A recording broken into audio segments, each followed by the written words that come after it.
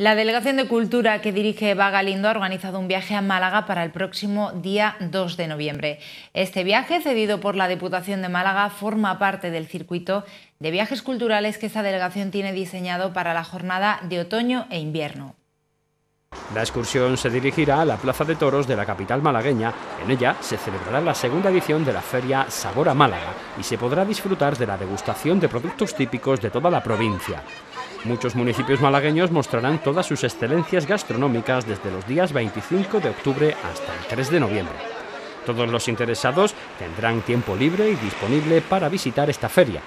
En esta excursión también se podrá disfrutar de la belleza de la capital malagueña, de su olor a biznagas y de todos sus encantos y rincones. Cercano a la Plaza de Toros se encuentra el conocido Muelle 1, situado en el puerto de Málaga. Se trata de un espacio lleno de atractivos tales como tiendas, restaurantes, bodegas, bares especializados, zonas de paseo, zonas culturales y de ocio de todo tipo.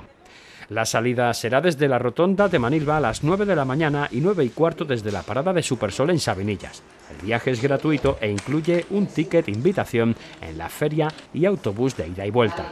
La hora prevista de llegada a Manilva será las 5 aproximadamente.